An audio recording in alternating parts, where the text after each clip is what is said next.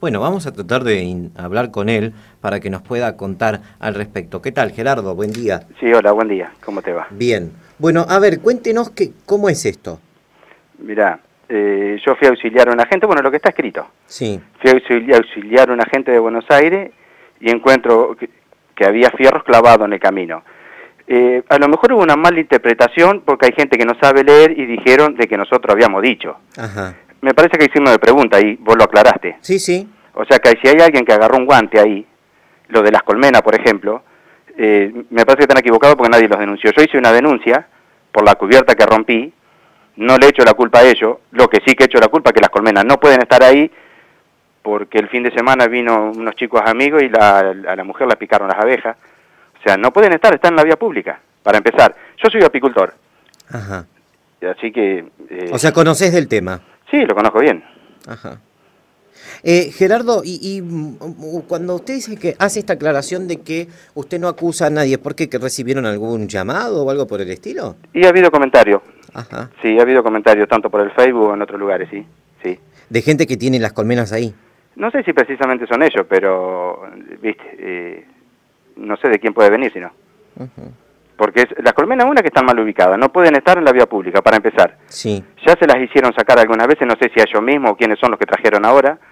Yo hubo gente que el año pasado o el antepasado, no me acuerdo, le fui a avisar que las sacaran porque estaban arreglando todo el terraplén de la vía. Me vinieron a ver a mí si eran mías, yo fui y las avisé que las saquen porque las iban a enterrar. Y... O sea, porque no quiero que las arruinen, porque yo te digo, trabajo de eso. Claro. Y es un bichito que sirve mucho. Sí, sí. Así que, pero por eso te digo, ahí no sé si hay quilombo entre apicultores o hay gente que está poniendo para perjudicarlo a ellos. Ya te digo, pero las colmenas están mal ubicadas, para empezar. yo, o sea, nadie denunció a nadie. Yo fui, hice una denuncia, me guardé todavía un, un clavo de eso, porque si sé quién es que me hizo romper una cubierta que vale cuatro lucas, se lo clavo en la cabeza, creo. Gerardo, dígame, cuando ustedes pasan eh, por el lugar, descubren que se les revienta la cubierta, cuando bajan, ¿encuentran qué? Y unos fierros clavados, que eh, yo puse uno en la publicación que hizo mi mujer, están clavados en el suelo, no lo ves. Están, clavados en el suelo y encima no te queda puesto en la cubierta. La cubierta se desinfla a los 40 50 metros. Te la rompe, te rompe las telas. A mí me arruinó una cubierta. Qué bárbaro. ¿Tiene algún nombre específico ese, esa clase de clavos? No, no sé. Yo le llamo un fierro hecho a propósito, encima hábil para clavarlo porque ni siquiera la punta le mellan. Así que no, no. Por eso te digo, pero nadie culpó a nadie. Lo único que te puedo asegurar es que esas colmenas están muy mal ubicadas. Yo no he hecho la culpa que... A lo mejor le están poniendo cosas para perjudicarlo a ellos. Ajá. ¿Y ese campo a quién pertenece? No, no es un campo, es la vía pública. Ah, es la vía pública. Sí, señor. Eh, los apicultores ah. tenemos los campos, como debemos tener. No tenemos la vía pública. Entonces mañana yo pongo el acceso varadero, porque hay flor. ¿Y quién autorizó a que eso funcione ahí? Yo no tengo ni idea. ¿Y el delegado de Portela? Y comunícate con él. Yo ayer hablé con él. ¿Y qué les dijo? Y a mí me dijo que no sabía que había colmena ahí.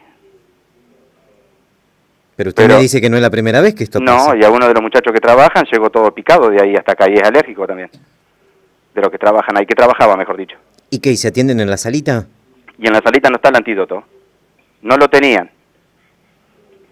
O sea, comenzó a haber personas picadas por abejas. Y sí, que va al río, sí, la gente que salía a caminar no puede salir más. Yo pues no le doy bolilla porque a mí si me pican no me pasa nada, pero hay gente que puede correr riesgo de vida, de, ya te digo, de ahí por una picadura por alergia. ¿Está abandonada esa zona? No tanto, más o menos. Lo que pasa que, ya te digo, es un camino que lo usa mucha gente. Nosotros principalmente, yo los fines de semana por ahí voy con el nene mío a, a paviar un rato al río.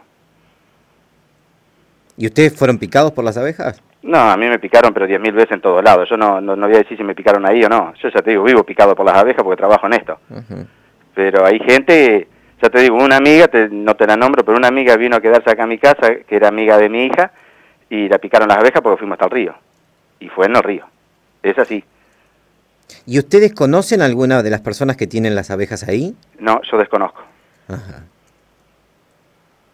Gerardo, y desde que usted hizo ayer esta publicación, además de, algunas personas que se sintieron por ahí aludidas con lo que comentaban, eh, ¿se comunicó alguien más con ustedes, alguna autoridad o algo? No, no, no, no, para nada, para nada. Qué bárbaro. ¿Y estas personas de dónde eran las que ustedes auxiliaron cuando fueron cuando reventaron? De Buenos Aires. Qué trastorno, ¿eh? Y sí, trastorno porque se tuvieron que ir con una goma pinchada, con, sin auxilio. Yo lo fui a auxiliar porque tenía el auxilio desinflado el hombre. Y me vino a ver, estaba operado encima de una peritonitis y lo fui a auxiliar porque no soy de dejar a la gente tirada. Encima termino perdiendo porque no saco ni para la emparchada yo. Qué bárbaro. ¿Usted vive ahí cerca de donde está esto? Yo vivo en Portela. Qué bárbaro. Eh, y también eh, en, la, mm, en, la, publicación eh, se hacía referencia a que se tiran ramas para que no, no se vean a, los mismos clavos, estos que están en la, en la calle, digamos. Sí, bueno, sí, a varios, varios chicos pincharon goma de acá y tenían ramas puestas, pasto y rama, dijeron. Yo en el caso mío no, porque yo pasé para allá auxiliar a la gente, cuando vuelvo como yo ya había sentido un comentario de esto, cuando vuelvo vengo mirando, porque no puede pinchar dos gomas. Claro. Y vengo mirando y yo me, miro en mi huella, veo una cosita. Me paso de largo y digo, no, me voy a volver. Vuelvo y lo agarro a golpe, pues en la caja de la camioneta tengo un montón de fierro, lo agarro a golpe y lo desentierro. Y el hombre que andaba conmigo eh, camina sobre el, digamos, sobre la otra huella y dice, acá hay otro. Y es que agarré yo que rompí la goma. Porque la goma no alcanzó a llegar acá que se, se llanteó, se, se, se desinfló, no la anduve, pero me abrió la estela. Si entra un fierro de 8 o 10 milímetros. Mm. ¿Cuánto mide ese fierro? Y lo deben enterrar como, no lo medí, pero 20 centímetros y lo dejan 3-4 centímetros afuera porque tiene un tope para que no se entierre. Tiene como una, como una soldadura en la tuerca, estoy viendo aquí las imágenes que me acerca es para que no se entierre si lo pisás. No, no, está bien, bien, bien diseñado. Y tiene como soldado una punta este, cortante, ¿no? Sí, sí, sí, sí. Sí, bien, bien cortante, se mete como nada en la cubierta. Yo me guardé uno, ya te digo, porque si llego a saber quién es, se lo voy a clavar en la cabeza si no me, parta no me paga la goma. Qué bárbaro. Gerardo, esperemos que de esto alguien responda y se haga cargo de esta situación. bueno, no sé a quién le corresponde, si al municipio, a Ferrocarril, a Marinkovic, no sé, no sé, yo te digo la verdad. Yo, eh, o sea, expresamos el problema que tuvimos, porque estamos cansados de tener algún problema y siempre somos los que estamos padeciendo las cosas acá. Claro. Escuchame, estamos, estamos en una isla prácticamente. Eh, escuchame, estamos hablando de un, de un, pueblo re tranquilo.